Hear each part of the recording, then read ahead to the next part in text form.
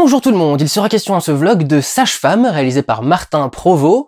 L'histoire, c'est alors d'une sage-femme, Claire, qui euh, euh, se doit faire face à la fois à la fermeture de sa maternité, qui est en train de fermer pour... Euh, pour, pour c'est un problème très actuel, ils réunissent plusieurs maternités dans, des grandes pour que les coûts soient moins... c'est compliqué. Bref, elle doit faire face à ça. Et en même temps, à la résurgence dans sa vie de Béatrice, son ancienne belle-mère, euh, qui débarque euh, alors qu'elle n'a plus grand-chose dans sa vie et qu'elle est malade, et va essayer donc de renouer les liens avec son ancienne belle petite fille. Euh, sachant que chacune sont extrêmement différentes, Claire est littéralement une sage femme, sans le trait d'union. D'ailleurs, le titre fait disparaître le trait d'union euh, au, début du film. Euh, et Catherine Deneuve, pour le coup, est une femme qui, euh, le personnage de Catherine Deneuve, Béatrice, est une femme qui adore profiter de la vie, qui adore bouffer, qui adore boire, qui adore fumer, picoler, faire des tas, des tas de choses. que Claire ne fait pas du tout, et chacune va apprendre plus ou moins de l'autre. Béatrice va plus ou moins essayer de se calmer, et Claire va essayer de profiter un peu plus de la vie. avant de commencer, le film est pas mal, c'est du film français, mais c'est du bon film français, c'est du film français bien fait, donc c'est les thèmes du film français mais traités correctement et, et tel qu'il faut les faire. Juste un petit truc au départ, euh, d'abord faire un petit coucou à toute une bande que j'ai croisée euh, au, McDo avant d'aller voir le film. Je, prends un truc rapide et il y a, trois, gars, qui ont débarqué d'un groupe et qui, euh, qui, ont commencé à me faire ah j'aime beaucoup ce que vous faites etc. Et je j'étends mon coucou au père de famille qui était juste à côté qui s'est dit qu'est-ce que c'est que ce branleur avec trois mecs qui viennent lui dire j'adore ce que vous faites etc. Viennent saluer la main et qui du coup après venu me demander ce qu'était ma chaîne. Donc je salue tout ce petit monde. Et le film étant dédié à la sage-femme qui a sauvé euh, Martin Provost quand il est né, euh, il a eu un problème qui d'ailleurs, euh, ils, en ont fait une scène dans le film qui est pas du tout centrale à l'histoire, mais qui est là pour évoquer le métier de sage-femme de, Claire. Et pour ma part, je passerai un petit coucou à ma propre maman, puisque ma maman est sage-femme, elle vient de partir à la retraite là très récemment et elle a fait naître des petits bébés pendant 40 ans. Donc voilà, ce, le, métier qui est dans ce, dans ce film, c'est le métier que faisait ma maman pendant des années. Et pour ceux qui trouvaient ça chiant, je tiens à préciser que ma mère travaillait à la maternité de Guingamp et qu'elle a donc fait naître la plupart des enfants des joueurs de l'en avant Guingamp. Donc si vous êtes fan de foot, ça peut peut-être vous intéresser, ma mère a venu au monde la plupart des gosses des enfants de l'en avant Guingamp. Voilà, ça c'était pour ce qui était extérieur au film.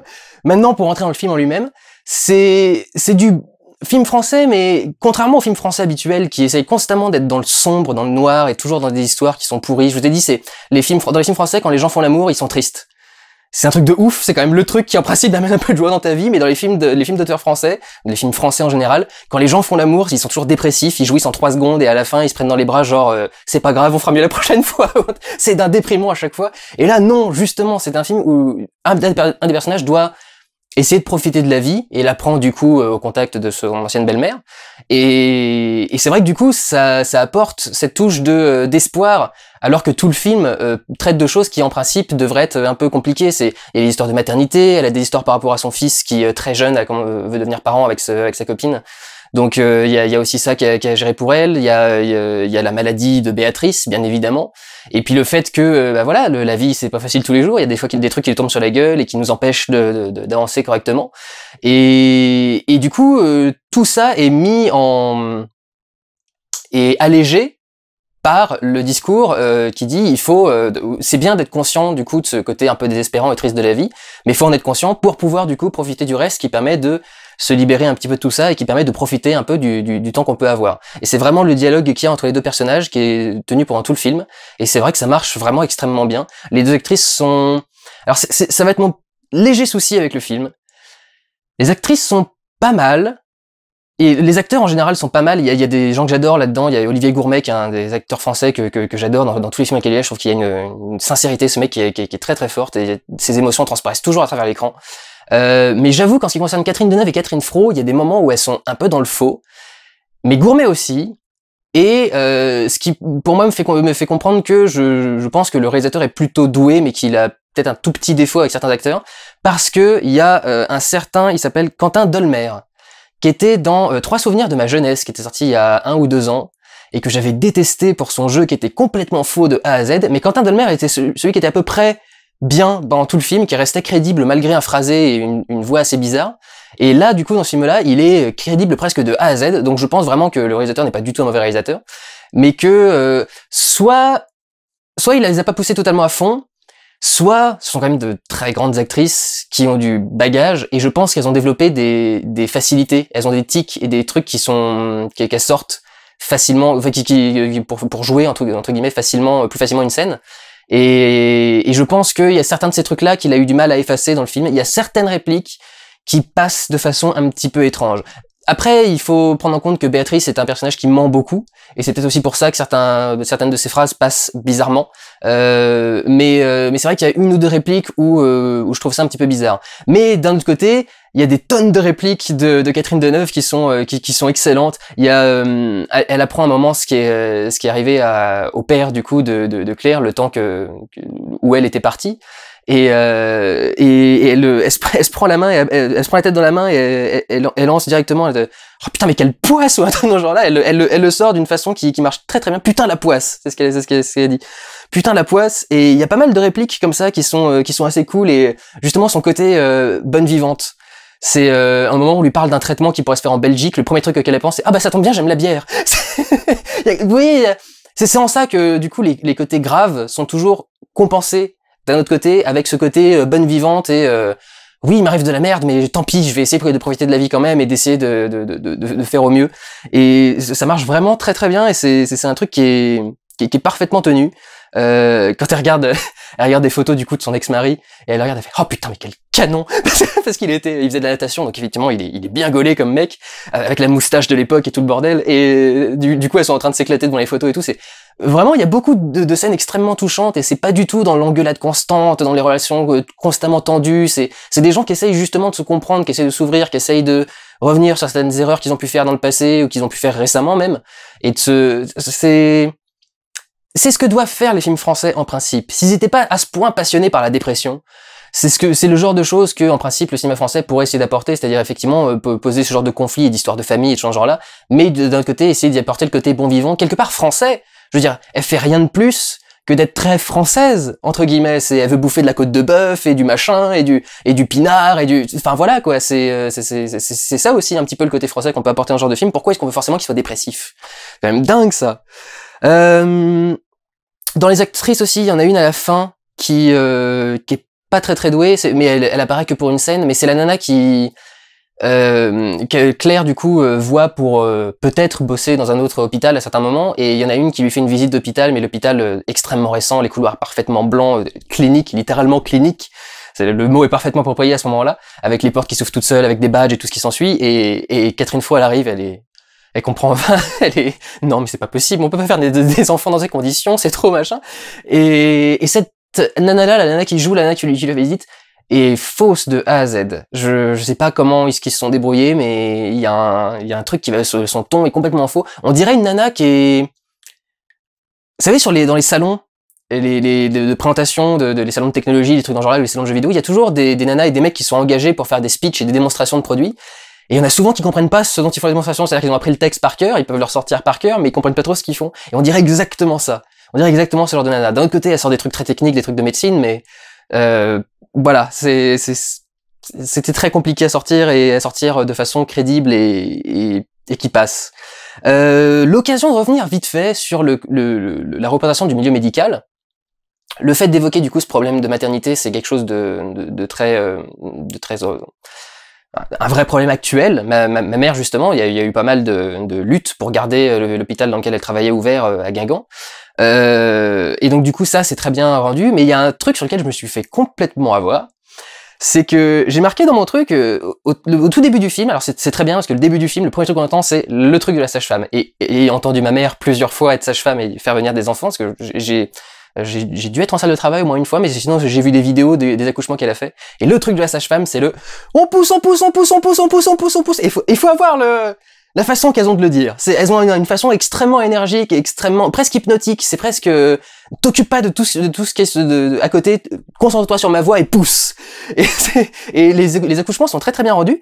Et je me suis dit, je l'ai marqué, très beaux effets d'accouchement. Et je me suis dit, putain, euh, ils sont vraiment bien foutus parce que, du coup, ma mère étant sage-femme, à chaque, à chaque fois qu'il y avait un accouchement dans un, dans un film, elle me disait, oh là là, à chaque fois, c'est des bébés qui ont 7 mois, qui sont 10 fois trop gros, ils sont, ils sortent, ils sont déjà complètement nets, ils ont déjà des cheveux et des machins.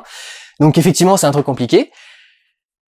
Et là, les effets spéciaux sont vraiment ouf et j'étais complètement bluffé. Je me disais, putain, là, c'est bien crédible qu'on dirait un vrai accouchement. Et ben, il y a une raison toute simple à ça, c'est que c'est des vrais accouchements. Ils ont formé Catherine Fro à être sage-femme, à faire les gestes pour recueillir le bébé, pour le récupérer à la sortie, etc. et tout bordel. Et ils ont été en Belgique où on a le droit de filmer des accouchements, parce qu'en France c'est interdit, on peut pas filmer des enfants de moins de 3 mois par la, à cause de la loi, mais en Belgique c'est possible. Et ils ont été prendre six femmes qui étaient d'accord pour se faire filmer pendant qu'elles étaient en train d'accoucher. Et euh, ils ont attendu patiemment que, que l'accouchement soit là. Il y avait Catherine Fro qui était dans un coin. Et euh, quand, quand, il y a eu l'accouchement, ils ont sorti la caméra. Catherine Fro est arrivée et a aidé à délivrer le bébé parce qu'elle avait été formée par des sages-femmes euh, juste avant. Et des, des vraies sages-femmes étaient autour évidemment s'il y avait un problème. Mais comme tout se passait très bien, ils ont fait le truc. Et je trouve incroyable ce souci du détail de se dire, vous savez quoi, pour que l'accouchement ait l'air crédible, on va filmer un accouchement. C'est quand même la façon la plus simple que ça ait l'air crédible, de, rendre ça crédible. Et c'est vrai que du coup, bah, ça rend un truc euh, assez ouf. Et je sais pas si les, il y a une scène avec un papa. Et je sais pas si le papa était, était aussi le vrai papa, mais alors il y a justement quand on, quand il voit son enfant naître, il y a, y a une émotion dans son visage qui pareil est, incroyablement forte et vraie. Il a l'air profondément chamboulé. C'est si vous avez déjà eu des enfants ou si vous connaissez des gens qui ont des enfants, ils disent souvent qu'on on se sent vidé quand son enfant naît. Quoi, c'est on se sent renaître, on se sent devenir quelque chose de complètement différent. Et c'est vrai que ce, ce ça, ça, se ressent vraiment à fond dans ce film. Quand j'ai vu, il y a eu beaucoup de films avec des scènes d'accouchement et des papas qui y arrivaient, des mecs qui jouaient très bien, ils, ils se ressortaient très bien. Mais là, vraiment, c'est vrai qu'on sent vraiment la, à quel point ça le touche, quoi. Et, et, évidemment, toutes les toutes les mères qui sont en train d'accoucher sont criantes de vérité. J'ai même pas fait exprès, mais c'est le terme. Elles sont criantes de vérité. elles, écrivent pas beaucoup, mais enfin voilà, on sent qu'elles sont en train de douiller et que et que c'est que c'est du vrai quoi, que c'est pas du chiquet, et que c'est et du coup ça ça rend une, une véracité dans le dans, dans, les films, dans, dans les dans les situations qui sont tournées de très très belle façon avec des caméras euh, épaules pour rendre vraiment le côté euh, documentaire réaliste. la caméra épaule, la caméra qui tremble donne toujours ce côté réaliste parce qu'on se dit euh, si on avait bien travaillé le truc, si on avait bien fait le plan, la caméra aurait pas bougé. Dès que la caméra bouge, c'est ça qui donne l'impression du réalisme parce qu'on se dit bah ah oui la caméra bouge et on l'a gardé donc ça, on a le sentiment que c'est un mec de documentaire qui est là pour filmer une scène vraie quoi inconsciemment, l'inconscient du cinéma. Donc c'est vraiment euh, très belle attention aux détails. Le film en plus c'est très très joli, c'est que des lumières naturelles, je crois.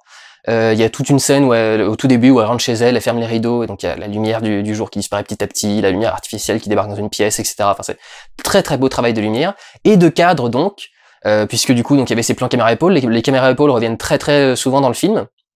Mais il y a aussi des plans beaucoup plus cadrés et, euh, et très très composés, en particulier s'il peut y avoir une ouverture de porte ou une fenêtre dans le cadre. Et elle sera généralement, euh, il y a une fois où il la met bien sur le côté, mais généralement elle sera bien centrée, bien au milieu, et le personnage sera découpé en silhouette autour. Il y aura des, des, plans très très très jolis comme ça. Il y a un très joli plan aussi où elle euh, sort du métro euh, parisien et elle est filmée du coup euh, en plan zénital depuis un balcon, je suppose. Euh, et du coup, on la voit en train de sortir du, du, truc, commencer à marcher, et la caméra se lève petit à petit pour montrer l'Arc de Triomphe et montrer qu'on est aux Champs-Élysées, en plein milieu de Paris. Donc, donc là aussi, un, très beau plan et un très beau visuel. Il y a aussi de très très beaux décors. Je vous ai parlé deux secondes de l'hôpital, mais il y, a, un décor qui est très très beau aussi parce que ils veulent montrer l'appartement dans lequel vit le fils de, de Claire et ils vont pas à l'intérieur et ils veulent faire comprendre juste en filmant l'extérieur qu'il vit pas dans un putain d'appart quoi. Il, il, vit avec sa copine, ils ont 20, 22 ans, ils ont un petit appartement quelque part quoi. Et ils ont trouvé, il y a une très belle recherche de décor parce qu'ils ont trouvé un, immeuble dans lequel sur lequel il y a des volets, euh, des vieux volets en bois, vous savez, qui s'ouvrent avec des petites persiennes. Et, euh, et, en fait, ils ont trouvé un immeuble sur lequel ils n'ont pas nettoyé les traces de, de, de, crasse, du coup, qui sont laissées par la pluie et qui, qui déposent de la terre et des machins. Et donc, sur l'immeuble, vous avez toujours, vous avez les silhouettes et les traces des volets quand ils sont pas ouverts. Vous avez les silhouettes et les traces en crasse qui sont un peu sur le côté. Et du coup, ce côté un peu crasse, un peu machin, quelque part est visuellement beau et joli. Il y a un côté euh, fantomatique l'ombre du volet plutôt que le volet lui-même. Euh, mais en plus, du coup, transmet l'idée qu'il vit pas forcément dans un putain d'appart et que euh, il est, euh, il a un niveau de, vie particulier. Donc, vraiment, dans la recherche des décors, il y a des trucs très jolis. Euh, tout, ce, tout ce petit jardin là où elle, elle fait pousser son, son potager, qui est, qui est, très très joli aussi avec ce petit environnement. Et malgré du coup l'usine qui est à côté, ils arrivent quand même à en faire un plan qui est, qui est, qui est assez joli et qui marche très très bien. et le dernier petit truc, c'est j'ai un petit souci quand même avec le. Je trouve que finalement le côté sage-femme est pas très important dans le film pour donner son titre carrément. Euh, c'est aussi le jeu de mots en retirant le trait d'union qui définit le personnage de, de, Claire qui est une femme sage. Donc sage-femme, ça marche aussi. Mais j'aurais j'aurais voulu qu'il y ait un peu plus un, un aspect euh, plus, plus, plus proche de la maternité et de et de du milieu médical vu que le film travaille beaucoup dessus la raison, à mon avis, euh, la façon, la méthode qu'il a d'utiliser le, les accouchements dans le film, c'est qu'en gros, à chaque fois que le personnage de Claire va progresser, va, va, va être défini, à chaque fois qu'elle va se redéfinir, qu'elle va se réinventer, euh, on va avoir un accouchement. Elle va, on a un accouchement, euh, bah on, a, a beaucoup au début, mais on va en avoir un à la fin de la première séquence quand elle apprend que Béatrice revient et qu'elle veut pas la voir. On va en avoir un à la fin de la deuxième séquence quand elle accepte finalement de la revoir. Et, petit à petit comme ça. je crois que c'est ça l'idée, c'est l'espèce de renaissance du personnage de Claire à chaque fois qu'elle évolue, à chaque fois qu'elle laisse passer une, une, une, une qu'elle laisse tomber un mur, une, une barrière. Euh, à chaque fois qu'elle progresse, à chaque fois qu'elle s'ouvre plus à la vie ou aux autres, il y a euh, une scène qui vient euh, ça concrètement avec un accouchement. Et je trouve encore une fois que ça, je, trouve que ça passe très très bien, mais du coup, voilà, je, me dis, il y aurait pu y avoir quand même plus de choses autour de la, maternité et de du milieu médical. Mais ça reste quand même très bien traité. Et pour ceux qui l'ont vu, il y a, vraiment une scène que j'ai trouvé particulièrement touchante et qui, m'a particulièrement marqué dans le film parce que en partie, elle résonne avec des choses qui sont arrivées à ma mère. C'est euh, ce qui se passe avec la, jeune fille qui, euh, qui débarque en pleine nuit, euh, juste avant qui débarque en pleine nuit. Et, et cette scène-là est très touchante et c'est des choses qui se produisent euh, pas mal, surtout en province d'ailleurs, pas, pas, pas, forcément à côté des grandes villes, mais en province ça arrive très très souvent. Et c'est quelque chose qui est effectivement euh, assez assez touchant et assez émouvant. Ceux qui l'ont vu euh, pourront en témoigner. Donc voilà, je trouvais que c'était une très jolie scène et que globalement c'était un, film très agréable et, et très très humain, très très doux, malgré le côté rugueux de certains aspects. Il y a un côté très doux et très humain à à tout ça, et j'ai trouvé que les personnages étaient vraiment intéressants et touchants. Donc euh, voilà, pour une fois qu'on a un bon film français, quelque chose qui fait bien son boulot, je vous encourage à aller le voir. Euh, c'est plutôt une bonne expérience. En tout cas, moi, j'ai bien apprécié et c'est pas euh, c'est pas du film de dépressif comme d'habitude. Donc voilà, c'est peut-être une, une bonne raison pour une fois d'aller voir un film français. Prenez soin de vous, allez voir des films. Ciao